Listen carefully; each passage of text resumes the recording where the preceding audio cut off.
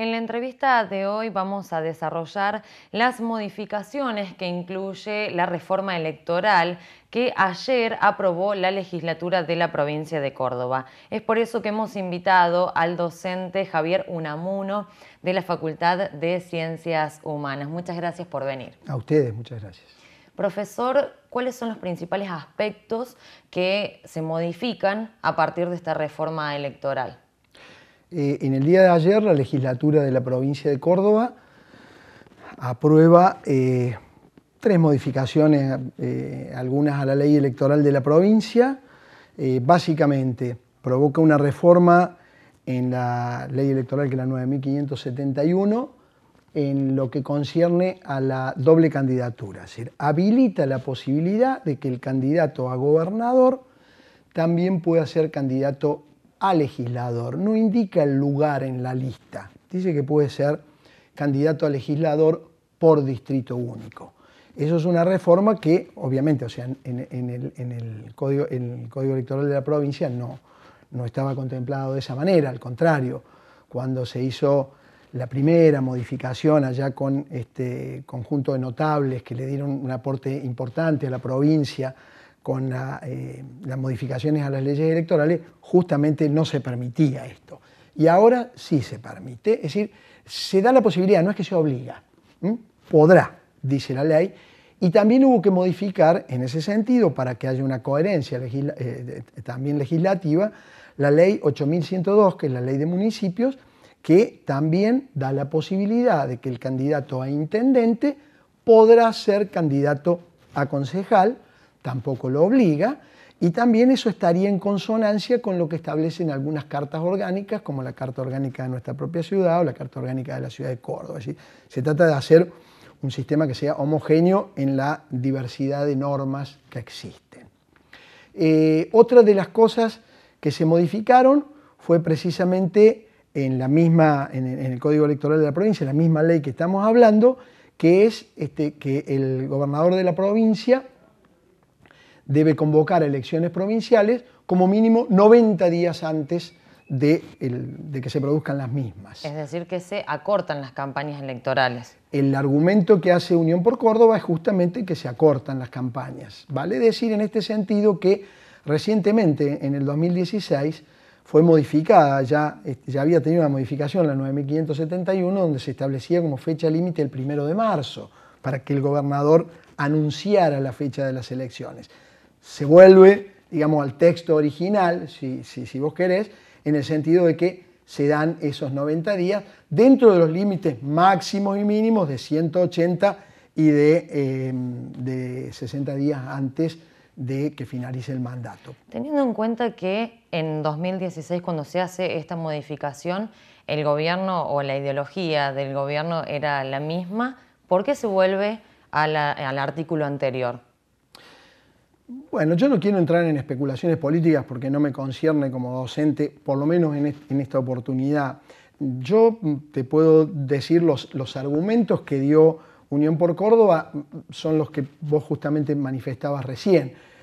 Eh, para que las campañas sean más cortas, para que los gastos sean, sean menores, en principio podría decirte que es esa la idea. Subyace seguramente alguna otra cuestión que será menester tratar a lo mejor en otra oportunidad, pero subyace a lo mejor esto, porque justamente fíjate vos que en este caso, eh, si bien Unión por Córdoba aprueba estas modificaciones junto con el bloque eh, kirchnerista, en este caso este, el, bloque del kirchnerismo no, no aprueba esto, aprueba las otras dos modificaciones, pero no esta.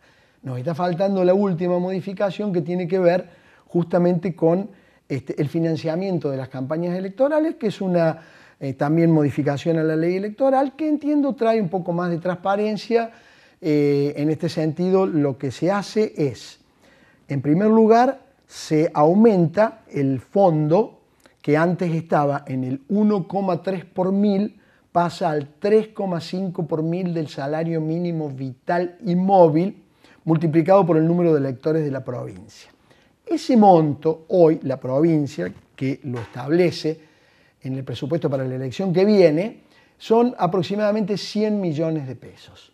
Esos 100 millones de pesos son para financiar la campaña electoral en medios gráficos y de radiodifusión.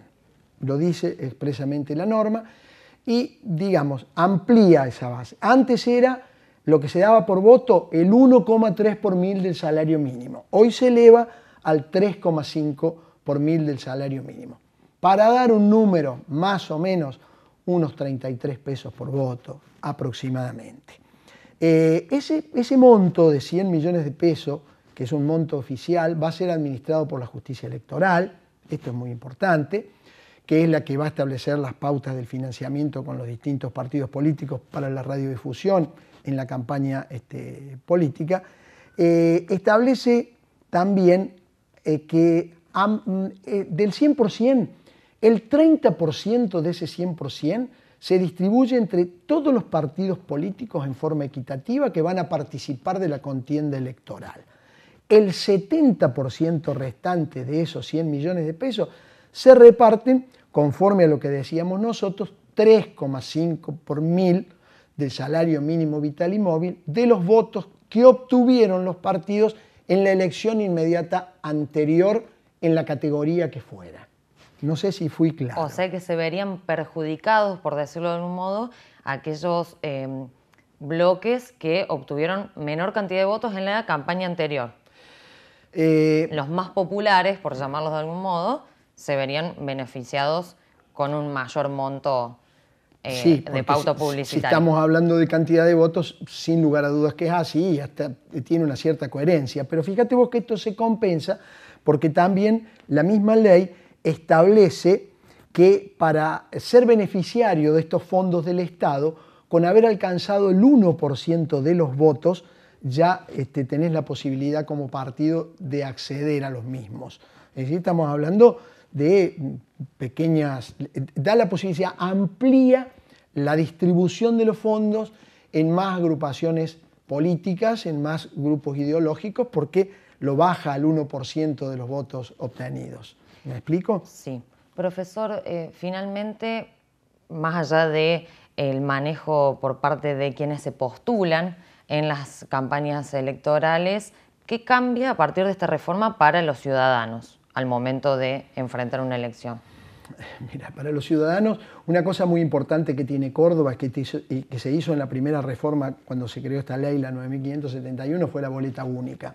En la boleta única no cambia, lo que pasa es que si ahora existe la posibilidad de que partidos chicos que antes solamente podían presentar candidatos a legisladores, hoy puedan presentarlo a gobernadores, posiblemente tengamos una boleta única un poquito más grande con más candidatos que puede llegar o no a confundir a la gente, pero tampoco estoy en condiciones de decirlo porque no sé si eso va a ocurrir. Pero a priori amplía la participación en el sentido de que al ciudadano va a tener más opciones. Yo no sé si es bueno o no cuando vos tenés una... Y menos tiempo para elegir, tal vez. Menos tiempo para elegir puede ocurrir. Eso sería básicamente. Muchas gracias por haber venido. Seguramente vamos a seguir desarrollando este tema en alguna otra oportunidad. Muy bien, les agradezco a ustedes. Muchas gracias. De esta manera entonces hablábamos de esta reforma electoral que se aprobó en la provincia de Córdoba. Seguimos con más noticias.